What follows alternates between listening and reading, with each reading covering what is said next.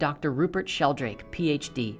This man has compiled a number of powerful and thought-provoking experiments which change the way that we look at and understand our minds. From his work and experiments, he puts forth the idea that the mind is not isolated inside the head at all, but extends out into the world around us as a morphogenetic field. One thing I love about this man is that he used very practical and common experiences that many of us go through on a daily basis and turned them into a wide array of powerful scientific experiments. In one particular experiment, they demonstrated the connection between dogs and humans by monitoring the behavior of the dog when the person was out of the house. And the dogs would repeatedly show behavior of waiting by the door for their human buddy as early as when the person even had the intention to go home, even from long distances away. Skeptics are often quick to respond that the dogs are used to hearing familiar car sounds or they know generally what time their human comes home at. And so Dr. Sheldrake ran the experiments using unfamiliar cars and random and unusual times for the individuals to go home, which still yielded the same results, having the dogs wait by the door the moment that the person sets the intention to return. Dr. Sheldrake also did a number of experiments which he described as telephone telepathy, in which people would randomly call a participant and the person on the receiving end would have to guess who is calling them out of a list of possible callers. The results of this study showed a rather high level of intuition for most people, who were able to guess who was calling at a rather high rate than you would expect if it was purely random guessing. This experiment was also taken further with the sense of being stared at, where he proved that people were able to intuitively know whether or not they were being watched, with stunning results as well. Using this morphogenetic field theory, we are able to explain how herd animals move together as if they were a single unit. Dr. Sheldrake explains this by suggesting that each animal in the herd acts a bit like they were their own magnet, emitting its own unique signal into the field. But as they all come together, much like magnets, they link together to form a singular larger field. What Dr. Sheldrake concludes through his publications and presentations is that the cosmos is not a lifeless mechanism that we have essentially believed since the 17th century, but an organic living system which is designed to evolve and grow, just as we experience in our own lives.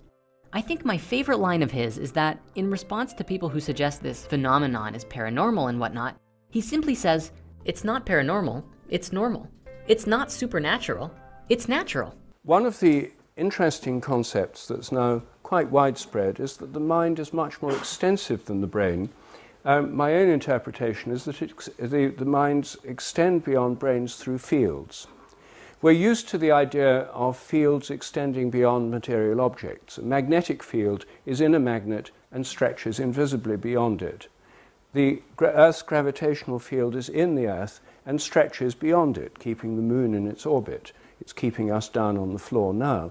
Without it, although it's invisible, uh, we'd be floating around.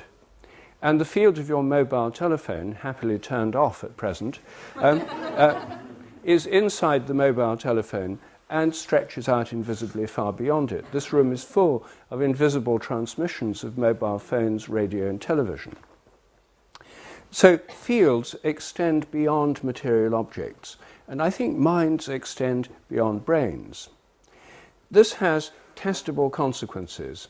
I'm going to be talking much more detail about this tomorrow as part of my course here, but I'll just give a couple of highlights here. Uh, this means that when you pay attention to something, for example, when you look at something, uh, your mind is reaching out and touching what you're paying attention to. The very word attention means that. Ad tendere in Latin, to stretch towards your mind stretches out towards what you're paying attention to. Now, this means you might be able to affect things just by looking at them. And um, it may seem improbable at first in the abstract, but when you think about it in concrete terms, if I looked at you from behind and you didn't know I was there, could you feel me looking at you? You realize this is a common phenomenon. The sense of being stared at it has been experienced by more than 90% of people as surveys show, including children. And a lot of research has now been done on the sense of being stared at, showing this is real. It's something that occurs in animals as well as people. I think it probably evolved in the first place in the context of predator prey relationships. A prey animal that could feel a hidden predator looking at it would stand a better chance of escaping one than one that couldn't feel it. So I think this is basic biological. It's not just human. Um, in most modern humans, it's utterly neglected part of our uh, abilities. It's not mentioned in the educational system. It, there's virtually no research on it within universities because it ought not to happen from a materialist point of view because the mind ought to be all inside the head. But it does happen, and I think it's one sign that the mind stretches beyond the brain. Now, I think our minds also extend beyond our brains through our intentions. And intentions can have an effect at a distance. This is one of the ways in which uh, telepathy is manifested. Telepathy typically occurs between bonded members of social groups. It occurs between humans who are closely bonded, usually between close members of families, mothers and children, spouses, lovers, um, close friends. Um, and uh, it also happens in animal groups and uh, between humans and animals. When people keep dogs or cats, uh, the animals form a strong bond very often, and this can often be the basis of telepathy. I think telepathy is a normal means of communication among animals. It's normal, not paranormal, natural, not supernatural. There's now been quite a bit of research on telepathy. In fact, it started in the 1880s with the founding of the Society for Psychical Research. But um, there's been new lines of research in telepathy in the last 20 years or so. One of them has been with animals. This has been one of the areas I myself have worked in. Um, because I think telepathy is a normal animal ability, um, not a special human ability, but a normal animal ability, I did research on it first of all, first of all in animals. Um, and I found that there had been virtually no previous research on this subject. So I started, uh, as one does in science, with natural history. Um, I collected stories from people who keep cats, dogs, horses, parrots, and other animals and I collected stories from vets and animal trainers and jockeys and police dog handlers and blind people with guide dogs and so on uh, to find out what they'd noticed. Can their animals pick up their intentions? Well, many, many people think they can. For example, I have more than 200 stories where people say their cat seems to know when they're going to take it to the vet. The cat disappears. and uh, it, the, I had so many of these stories. We did a survey of vets, all the vets in the North London Yellow Pages, 65 of them. We rang them up and said, Do you ever have a problem with people missing the appointment with the cat? And 64 out of 65 said it happens all the time. And the remaining ones said, It happens so often we've given up the appointment system for cats. and, and, and um, we've done random household surveys uh, about pets picking up people's intentions, and one of the commonest ways they pick up people's intentions is when people are planning to go away. Dogs and cats seem to pick it up before people start packing suitcases or giving all the obvious cues. Nobody's particularly impressed by this if the animal sees them carrying a suitcase to the door and loading up the car and things. It's before that that they seem to sense it. About 65% of dogs and cats seem to be sensitive to uh, people going away in advance. That's harder to test because people are in the same house. The phenomenon that's easiest to test scientifically is dogs and cats that know when their owners are coming home. And as some of you know, as many of you know, I, have done a lot of work on that. Uh, we do experiments on this uh, to rule out the obvious explanations. Uh, many people, about 50% of uh, dog owners and about 30% of cat owners, find that their animals anticipate the arrival of the member of a family by going and waiting at a door or a window. Um, they do this even when the people at home don't know when the person's coming, and even when they're coming at non routine times in unfamiliar vehicles. So we've done lots of experiments on this. These are published in scientific papers, in peer-reviewed journals, and they're summarized in my book on unexplained animal powers called Dogs That Know When Their Owners Are Coming Home. Um, now, in these experiments, we film the place the dog waits. We have the person go at least five miles away. Uh, they come home at a randomly chosen time that they don't know in advance. And uh, we, uh, to avoid them picking up the sound of a familiar car, they travel by taxi. Taxi fares are the most expensive aspect of this research. Um, and so uh, what we find is that over and over again, the most sensitive dogs uh, just do this uh, and they start waiting when the owner decides to come home. It's not the sound of getting into a car. It's anyway, it's an unfamiliar car and they're way beyond earshot, more than five miles away. It seems the dog seems to be responding to their intention to come home. It's picking up their thoughts or intentions.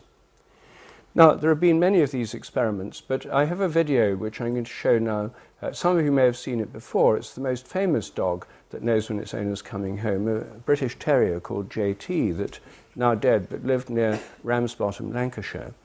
Um, this film uh, was done by the science unit of Austrian State Television, ORF. Um, they sent over the science unit to check up my experiments to see if it really worked, and they wanted to do a real experiment. And I was quite happy for them to do that.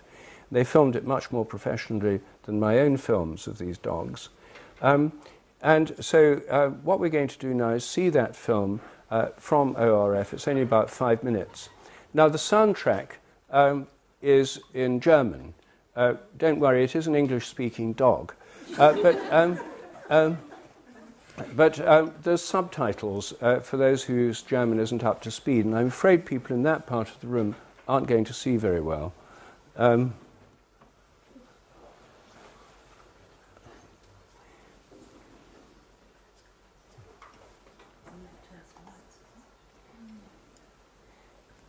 Can you see at all from the back over there?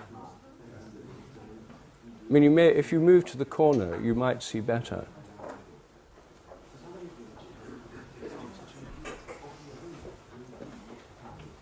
So you won't all be able to read the subtitles. I'll just give a brief commentary. This is Pam. There's JT. Ihre Eltern, bei denen der Hund während ihrer Abwesenheit bleibt, haben das Phänomen seit Jahren beobachtet. Pam selbst war zuerst mehr als skeptisch.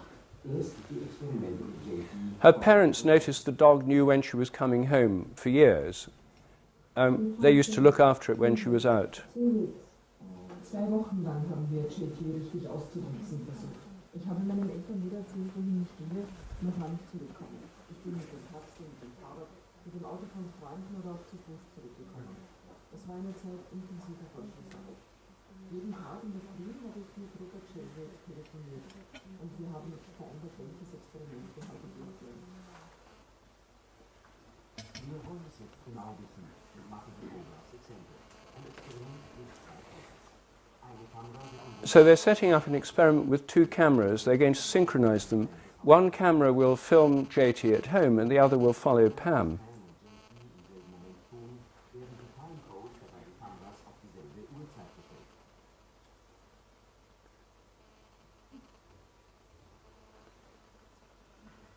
Der zweite Kameramann begleitet Pam und unsere Redakteurin.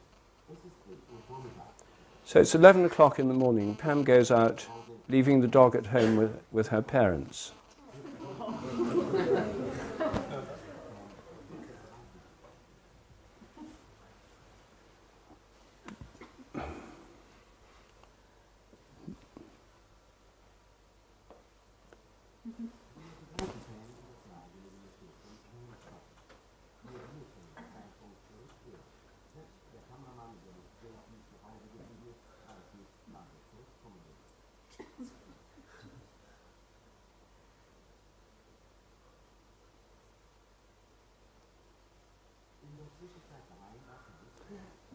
Meanwhile,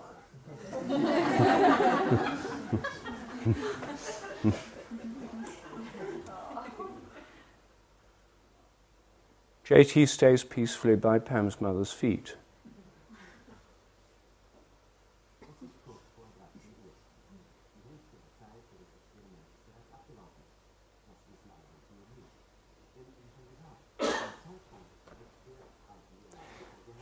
So Pam doesn't know when they're going to go home. Um, her parents and the cameraman in her home don't know when she's going. They're going at a randomly chosen time.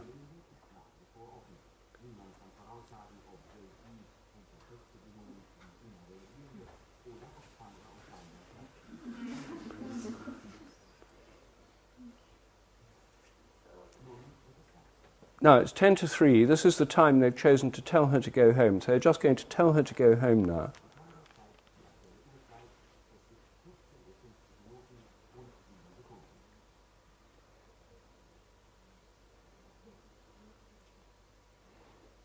And now you'll see in split screen JT at exactly the same time.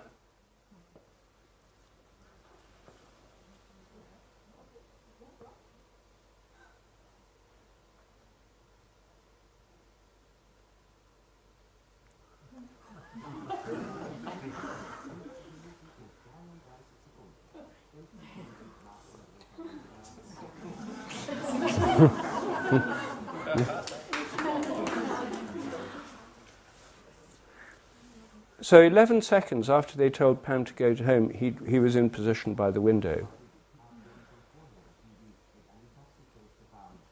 She's not even in the taxi yet.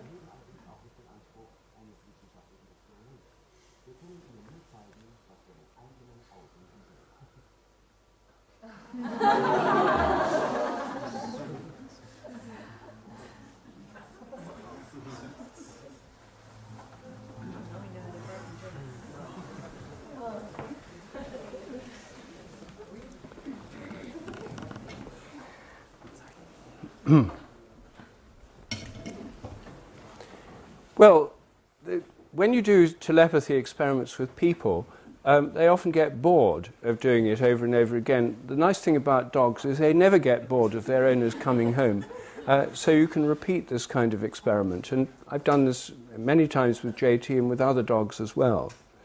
Um, now, humans are telepathic as well, and the commonest kind of telepathy in the modern world occurs in connection with telephone calls. More than 80% of a normal population in Britain, Germany, uh, Argentina, and uh, the US, where we've done surveys, have had the experience of thinking of someone for no apparent reason. Then that person calls and they say, That's funny, I was just thinking about you. Or else they know who it is as soon as the phone rings before they look at the caller ID or answer it. I imagine most people here would, must have had that kind of experience. How, how many have? Well, that's certainly most people. I should say over 90%. Um, well, the standard skeptical argument for this is to say, oh, well, uh, it may look like telepathy, but actually it's just chance coincidence. You just forget the millions of times you're wrong. You think about people all the time, and you think it's telepathy if one of them then rings up. Um, so that's plausible hypothesis, but uh, in science you need not just a hypothesis, you need evidence. And Skeptics have been saying that for 100 years without any evidence at all. Uh, it was an evidence free hypothesis. Um, I and others have now done many experiments on telephone telepathy. How the typical experiment works is that uh, you name, if you're the subject, you name four people you might be telepathic with. Um, you give us their phone numbers. You sit at home with a landline phone being filmed on video. Uh, we pick one of the four at random by the throw of a die ring them up and ask them to call you. So the phone rings, you know it's one of these four people, but you don't know which one. And before you answer it, you have to guess which one. I think it's Mary. Hello, Mary. You're right or you're wrong. By chance, you'd be right one time in four, 25%. In these experiments, people are right about 45%. It's a massively significant effect with uh, hundreds of trials. It's a, the p-value, for those of you who are into p-values, it's a probability is 1 times 10 to the minus 12. These are very significant findings, and uh, these experiments have now been replicated in Holland and in Germany, in Amsterdam and Freiburg universities. I now have um, a, a, telephone telepathy test online that works on mobile phones that any one of you can do, and I invite you to try it. Um, you register, you put in the names of two people, in this case only two people that you know well, with their mobile phone numbers. Then the test starts. The computer picks one of the two people, sends them a text message, and asks them to ring you uh, at a landline number, which is the computer. So you ring that number, it puts you on hold. The computer rings up the subject, if you're the subject, and it says, um, One of your two callers is on the line right now waiting to speak to you. Please guess who it is. Press 1 for Anne, press 2 for Bill. So you guess who you think it is. It records your guess, and instantly the line opens up. So you get immediate feedback are you right or wrong? Um, then after a minute, the call cuts off because I'm paying for it. uh, and, um, and after a random time delay, uh, it does the same thing again. And, and you do six trials altogether. Then everyone gets an email, uh, a text message with the score. Thanks for taking part. The subject got four out of six, or whatever. In these tests, it's coming in around 58%. It's not a huge effect compared with 50% by chance, but with hundreds of trials, very significant.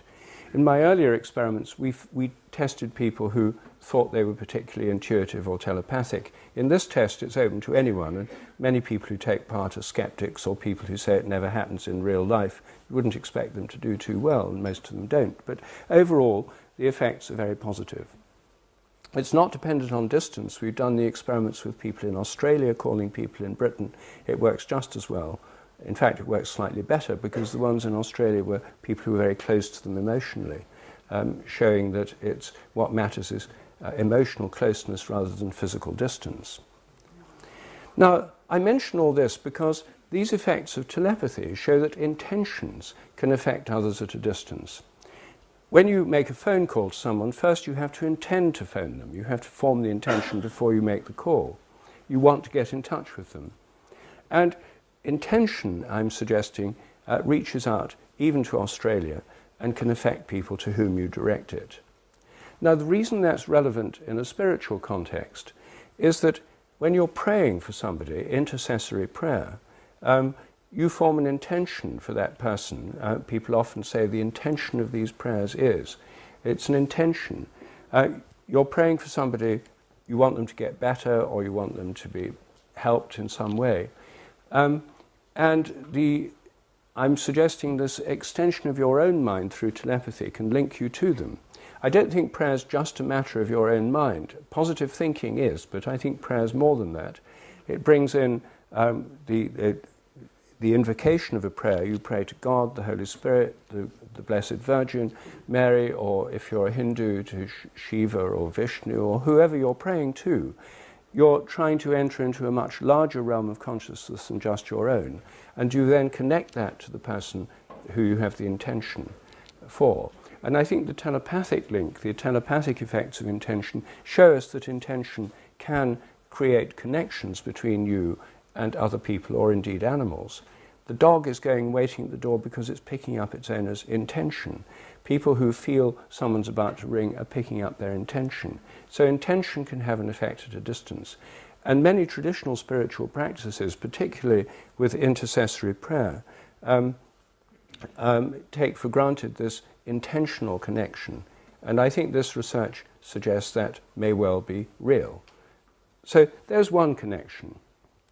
Now, I want to talk about different areas, and the next one is completely different. And this is to do with sacred places. All spiritual and religious traditions have the idea of sacred places um, temples, uh, holy rocks, uh, megaliths like um, the, those great standing stones that we have many of from the Neolithic period here in Britain. Um, uh, there are many kinds of sacred structure. Sometimes it's sacred trees or sacred groves. But all religions have the idea that certain places are particularly sacred. And one of the features of many sacred places is that they're supposed to be a bridge between heaven and earth. They connect the earth to the sky. Um, they're a kind of gateway. In the Old Testament, there's the story of Jacob going to sleep at Bethel and uh, dreaming of the ladder connecting heaven and earth with angels ascending and descending, connecting the heavens and the earth. And then the New Te- Old Testament account says he raises up a stone to commemorate this place. well, did he raise a standing stone or did he sleep by a pre existing standing stone? We can't know. But the principle is the same. This standing stone is one of the earliest forms of a gateway between heaven and earth. In Egypt, standing stones took on a particularly refined appearance in the form of obelisks, which are basically beautifully shaped standing stones, often monolithic. They're made of a single stone, and they often have a gold cap. Then, in the Christian tradition, many sacred places have towers or spires. Um, uh, in, the, in, in Islam, you have minarets, which these many traditions have these buildings that actually do reach up into the heavens and connect them with the earth. Now, I think this is more than symbolic. And my point here, the scientific point here, is that um, we know more than we've ever known before about the activity of the sun. And one of the things that's particularly interesting is that the sun has a solar wind, uh, which I don't. Oh.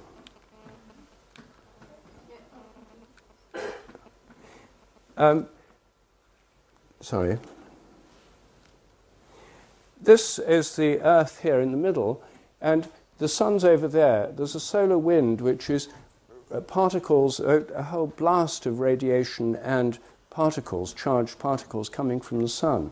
Uh, they compress the Earth's magnetic field. There's a kind of membrane around the Earth, the magnetopause, and there are all sorts of electrically charged layers. Here's the Earth in the center. Um, this changes day by day.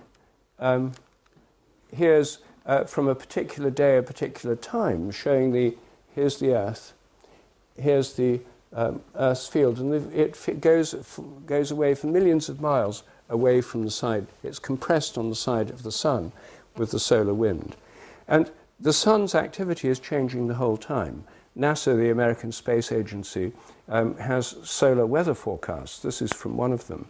Uh, because they affect things on Earth. They affect radio transmissions.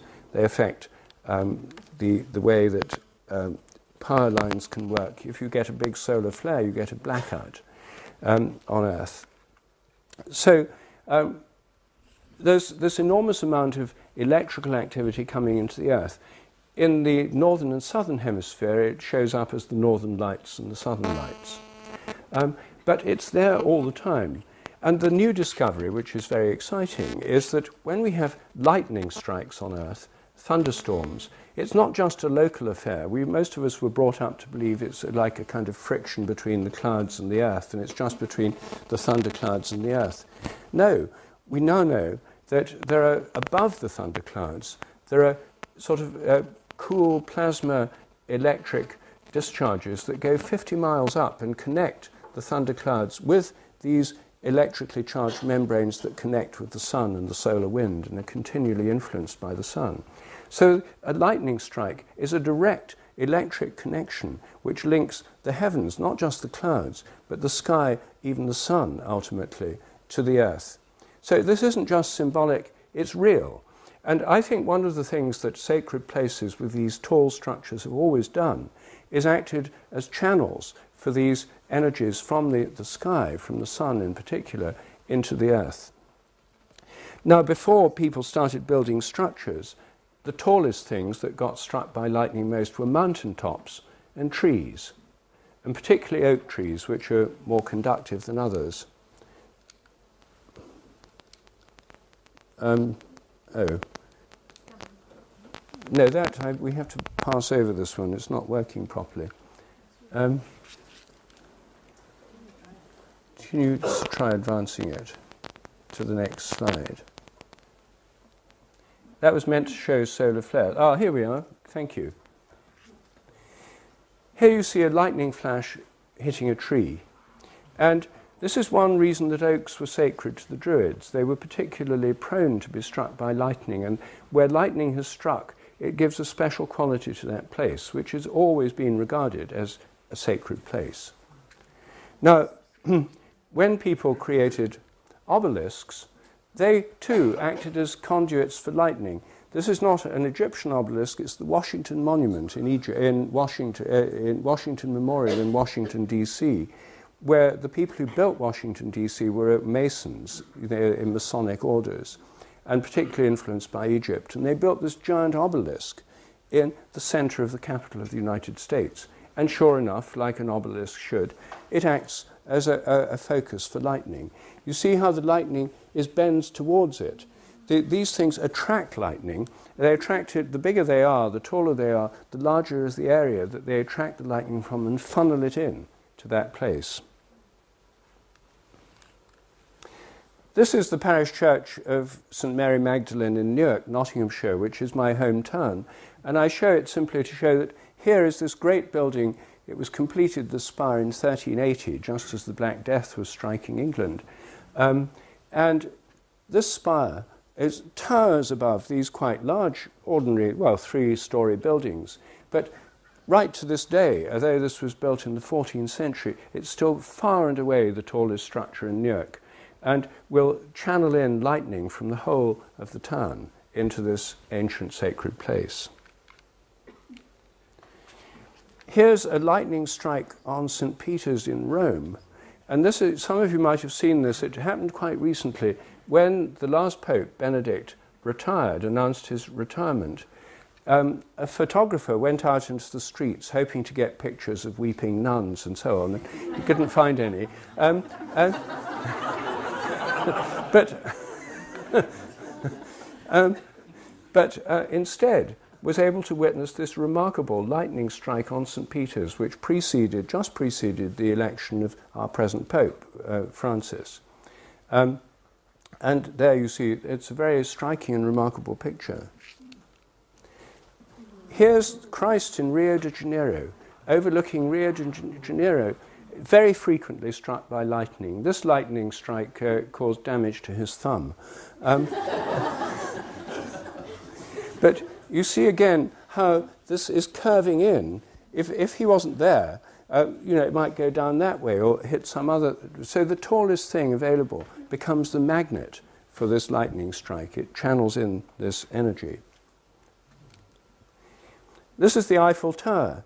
As soon as people got technological abilities to uh, build bigger and bigger towers, then they suck in this energy too. And so this is a great 19th century engineering marvel, and obviously it's going to be one of the primary attractors of lightning in Paris. And this is the Burj Tower. It's not because it's dark, you can't see. It's the tallest building in the world. It's in Dubai. And uh, these big business skyscrapers are now the primary things that suck in the lightning and, and become the principal attractors of it. So in very mod modern cities, this is, it's often these big business buildings that are the ones that are getting the energy. But in most places, thank goodness, uh, that's not so. And here in Dartington, um, the place that attracts the energy around here is the right, the, the right place to attract it, namely Dartington Parish Church and no doubt the old town near the hall. But the, some of us went on a micro pilgrimage to the parish church this afternoon. And I, I must say, if anyone here is a church warden or uh, involved with the church, I have to say how much I appreciate the fact that it's always open. Many churches are closed, and it takes effort and trust for people to keep it open and to maintain it so well. And I, for one, tremendously appreciate that. Um, anyway, sure enough, on the tower of Dartington Parish Church, there are little metal spikes on the top of every pinnacle, and there's a lightning conductor running down into the ground.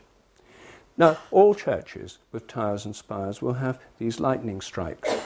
And one of the things I'm interested in is how often lightning strikes. I mean, it's rather an interesting thing if one takes literally, and it is literal, this connection of energy from heaven to earth, from the sky into the earth. Now, it's not rocket science to develop a way of detecting a lightning surge going down a lightning conductor. I mean, this is, you know, in millions of volts, you know, things that can do enormous amount of damage. And yet, there doesn't seem to, no one seems yet to have invented a device that could record it. If you imagine an induction coil mounted on the wall next to the lightning conductor, it should be quite easy to detect and record when lightning strikes happen. And if someone invented and developed this, I'm quite sure there'd be a big market for these things because lots of people would be interested to know when lightning hits their local sacred building.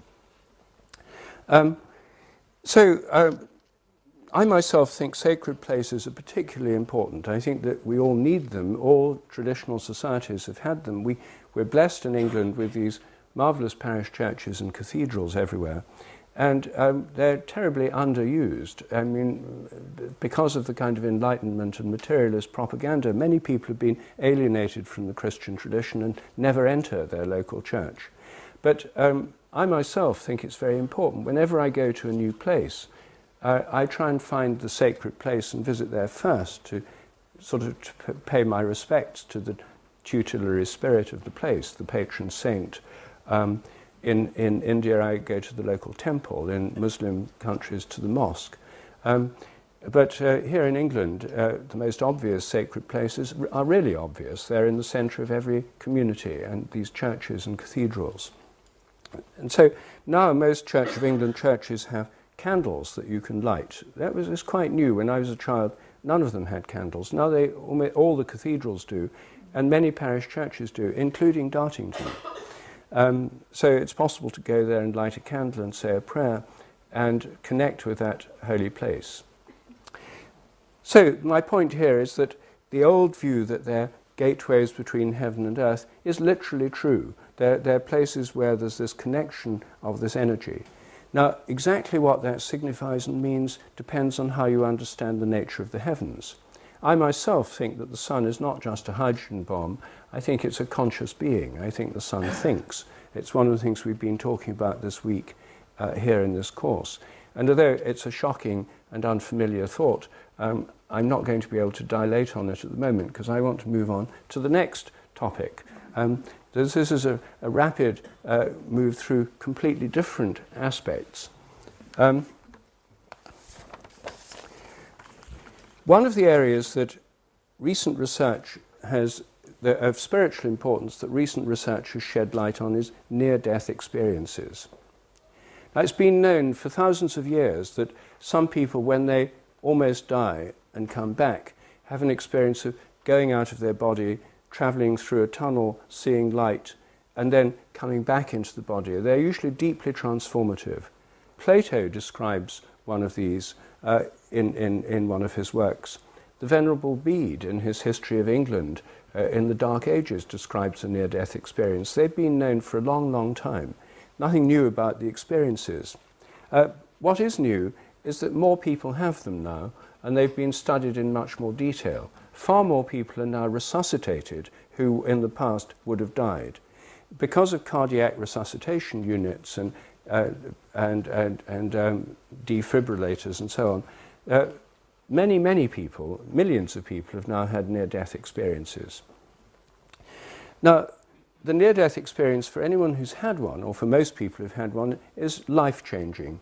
Uh, interviews with uh, people who've had these, uh, studies on these by, by psychologists and others, have shown that for most people it leads to, they cease to fear death, they, their life acquires a whole new meaning. They have a sense of that they're not just um, limited to their physical body, and so on.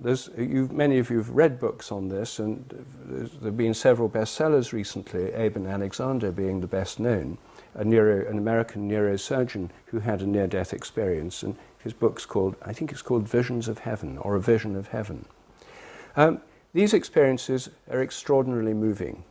Now, the atheists and the skeptics, of course, can't bear this idea that there's something really significant in this. So they've all, all along they've said, oh, well, these are just hallucinations of a dying brain caused by anoxia and uh, the hyperactivity of dying brains. Um, and uh, there's nothing to it except that. Um, however, more detailed studies have shown it's not too simple an explanation.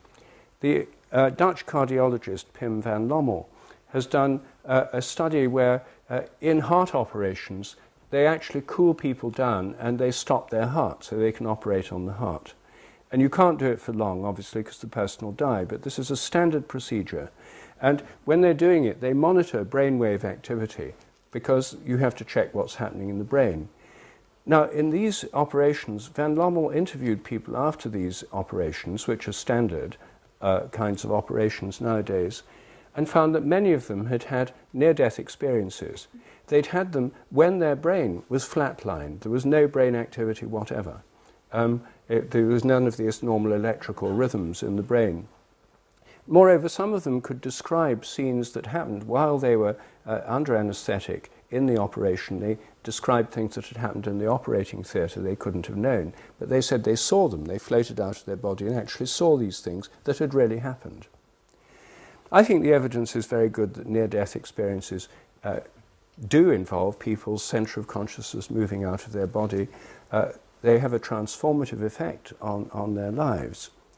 Another scientific aspect of this is that some drugs can produce something very like a near death experience, particularly the drug DMT, dimethyltryptamine, um, which has an very, it's the most powerful of all psychedelics. It produces an extremely intense trip. Uh, people who take it find themselves going out of their body through a kind of porthole into a realm of light and vision, and then returning back to their body feeling their life's been completely changed. The whole thing takes about five minutes. And, and for many people, it's one of the most significant moments in their lives.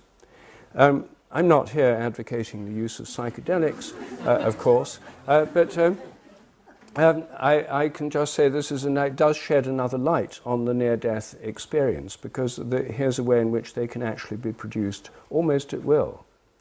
But the point I, the thought I want to leave you with here is that producing them almost at will may have been going on for a very long time. What if you have a rite of passage or initiation where somebody is almost killed and then they come back to life so that they've had a near death experience almost on demand? I think this is at the very heart of the Christian tradition. John the Baptist, in my belief, was a drowner. John the Baptist had people queuing up on the banks of the River Jordan. Um, he held them under, and uh, then he brought them up again, and they said they died, they'd been come to life again, their life had been completely changed, they'd been born again. And this is what they said, and they were queuing up on the banks. Now, in those days, they didn't have litigation and health and safety and stuff, and I mean, he might have lost a few. Um, um, but um, everything that you read in the New Testament about this experience of John the Baptist, including the baptism of Jesus, which uh, was a completely transformative event in his life, uh, fits perfectly if these were near death experiences. That's what they said they were. You've died and born again, seen the light, and, been in a, and, and lost the fear of death. It makes complete sense. Um, whereas saying it's just symbolic it doesn't really make much sense because something's only works as a symbol if it's a symbol of something. And what it's a symbol of is a near death experience. Well, why have a symbol when you can have the real thing? Um, so now, in the practice of most modern churches is of infant baptism, sprinkling water on babies. Obviously, it would be uh, it would contravene all rules of ethics and norms to drown, nearly drown babies. Um, but one of the things that makes the Baptists a particularly interesting Christian sect, I mean, they get the worst press of all Christian sects, the Baptists. But I think one of the things about Baptists that's interesting is that they alone uh, have made a point of sticking to the original tradition of baptism. Baptist preachers immerse people in water. They either have tanks in churches or they do it in rivers or lakes. And the Baptists are the people, the born again Christians, who get such a bad press who say that they've died and been born again. They're the people who keep alive this tradition. And I don't know how far they go. I don't know many Baptists. I, I only know one Baptist, Southern Baptist, actually, Jerry Hall, Mick Jagger's ex. Um, and I said to Jerry, you know, what was it like when you were baptized? And she said, well, she said, first of all, it was very public. She said, in my church in Texas, she said, the, the baptismal thing's like a giant aquarium with a glass wall so everyone can watch. And, and I said, Well, when the minister held you under, did, did, what was it like? She said, It was a lot longer than was comfortable, she said. Um, so, still in, in the US and, and in English Baptists too, still have baptism by total immersion.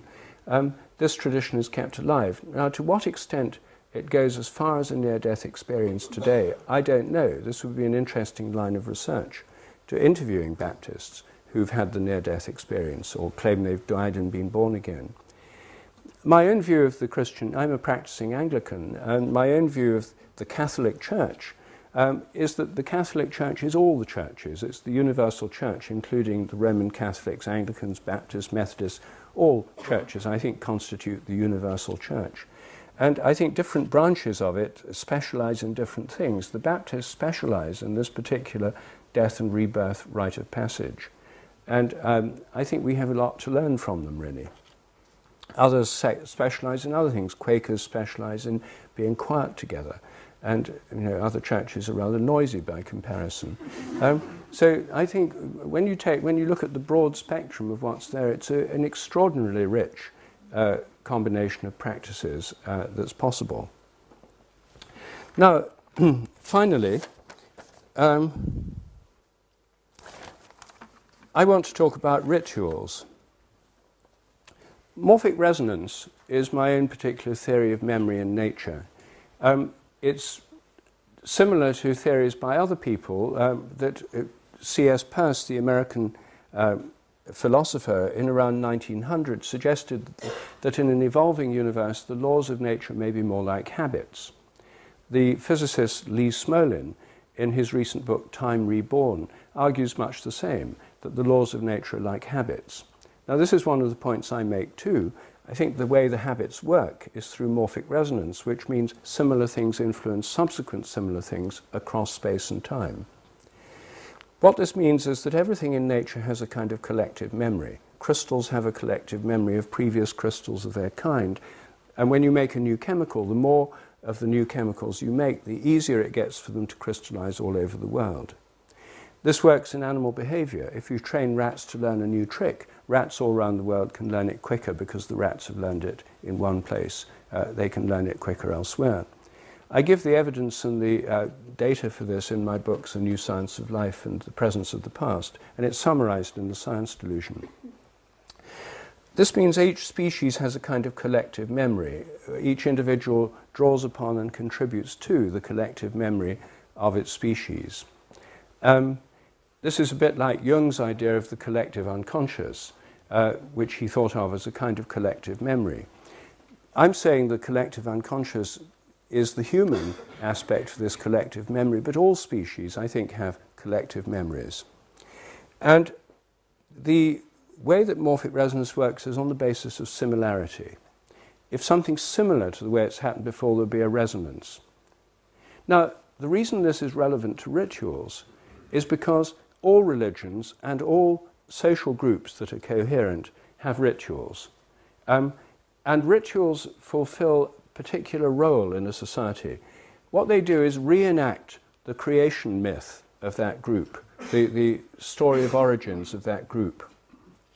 Um, and by taking part in the ritual, uh, members of the group in the present are connected with other members of their group in the present, but also with all those who've done it before them, who've gone before them. So, for example, the Jewish ritual of the Passover um, reenacts the first Passover when the Jewish people left Egypt on their journey through uh, the wilderness to the promised land. And in that Passover, they had a particular feast. They had lamb, or, uh, and, and there are details given in the Old Testament as to what that was like. And every year, Jewish people reenact that Passover meal. And the story is told every year. The youngest child says, Why is this night not like any other night? And the story is told, and so this is remembered uh, every year um, through the reenacting of this meal. Through taking part in it, Jewish people affirm their Jewish identity and their connection with other members of the Jewish group in the present, but also with all those who've gone before, right back to the first Passover. The Christian Holy Communion, itself a Passover meal, um, is a, a reenactment of the primary event that created the Christian community, namely Jesus' Last Supper with his disciples. And that's reenacted in every Mass or Eucharist. The American Thanksgiving dinner is an example of a secular ritual, again, a shared meal. Uh, the story is of the first giving, like the first harvest festival or dinner of Thanksgiving for the first settlers in the New World. And so they reenact that Thanksgiving dinner every year. And that's a national ritual. By taking part, people become Americans. It gives them an American identity and connects them with Americans who've gone before.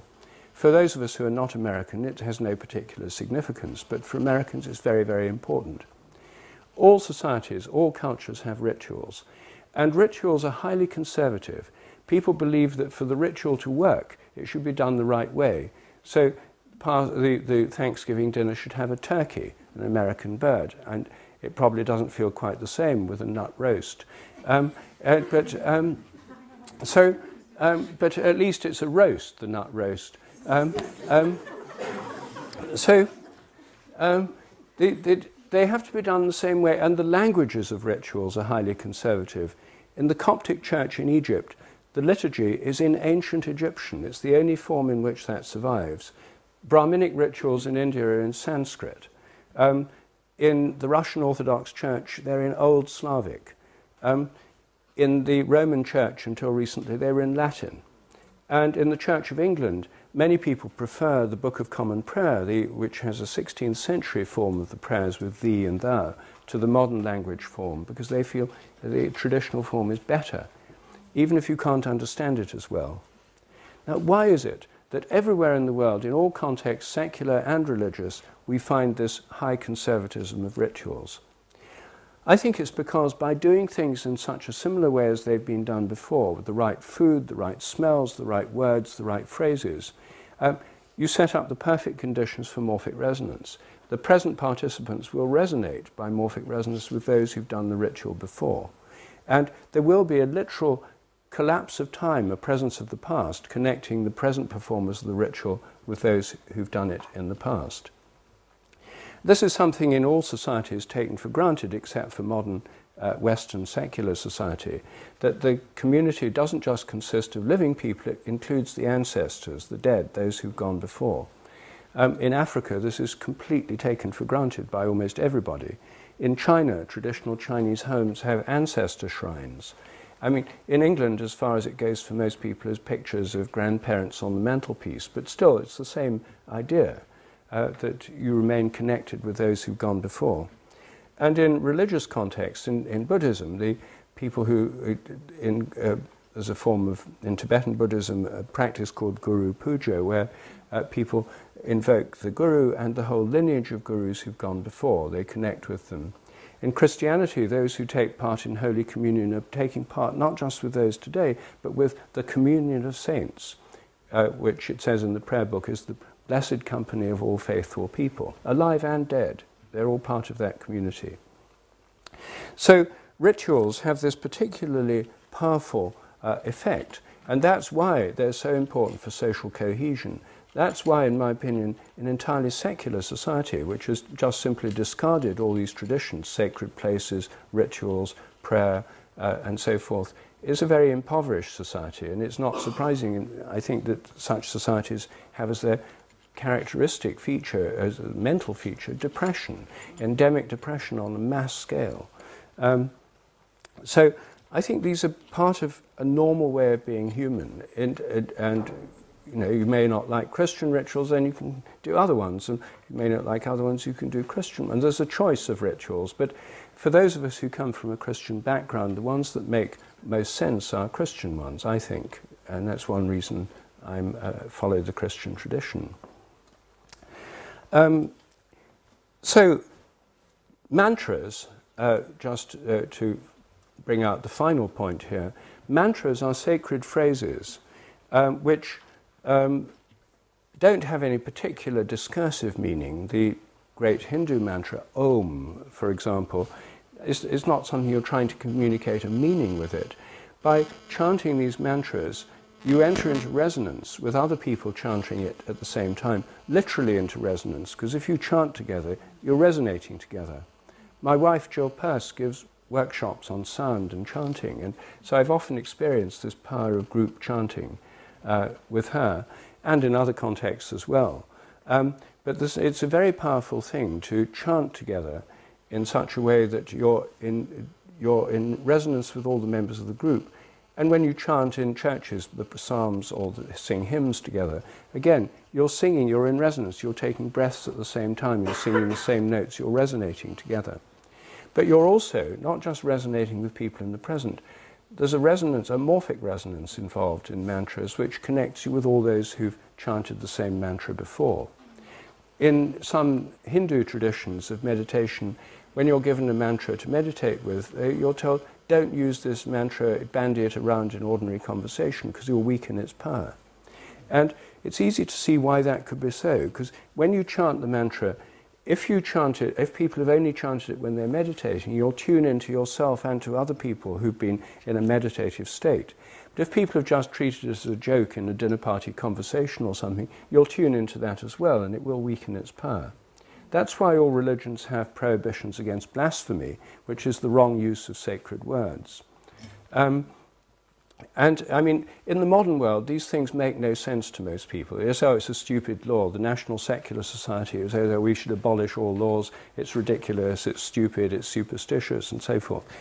These, these objections, I think, are, are often very superficial and are based on the idea that the only thing that counts is sort of rational science. In fact, for most people, Uh, all these other things are very important. They're a very important part of their lives.